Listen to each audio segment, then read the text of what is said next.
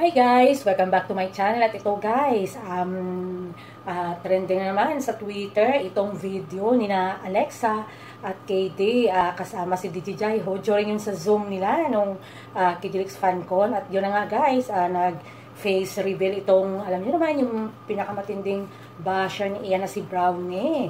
At uh, alam naman natin na finalo ito ni Alexa Ilacad. At yun na nga, uh, syempre, uh, nagulat talaga ang lahat kasi 'di ba uh, isa to sa mga members ng Kidilig sa uh, fandom at yun na nga, nagulat ang lahat sa sagot ni Alexa na gustong-gusto niya daw itong si Brownie kasi magaling daw makipag-away. At ito namang si KD Estrada ay sobrang nagpasalamat pa kay Brownie sa pagtatanggol sa kanila. Um, ibig sabihin pala, okay lang sa kanila kahit uh, uh, makipag-away itong mga fans nila. Hindi katulad ng ibang mga idols natin na talagang sinasawa yung mga fans na huwag makipagbardahan. Pero sa kanila talaga namang proud na proud itong si Alexa na sinabi na uh, gustong-gusto niya si Brownie kasi daw magaling makipag-away. Kaya yan guys, um, kung gusto niyo ng video na yan, ihanapin niyo lang sa Twitter at makikita niyo talaga. Yan lang ang update sa ngayon. Thank you for watching. Keep safe. Bye!